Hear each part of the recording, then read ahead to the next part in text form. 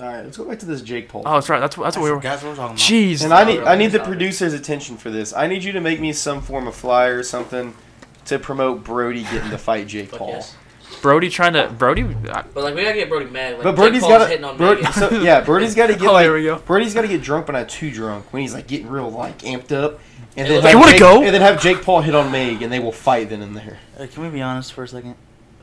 Jake Paul would beat the living fuck out of Brody. Brody's got a hundred I don't pounds know. on Jake Yeah, he's- Paul. Jake Paul would try. This is this is what Brody would be No, taking. Brody Jake takes Paul, if you're listening, Brody would take a punch. and Go. Oh no, he'll laugh. now you're gonna die. Like, I'm gonna that's the warn- shit Brody would say. Jake Paul, I'm gonna warn you. Our producer Zach, if you ever try to fight him, he screams so goddamn loud. Cut cut You're- this part and then post it at Jake You're Paul. gonna look like an asshole All right. when this man's in I'm down. fetal position. He's crying at the top of his lungs, and you're beating him up. You're gonna look But if Jake. Paul fights Brody, we could like meet all his famous friends and plug our podcast and Does he know David Dobrik?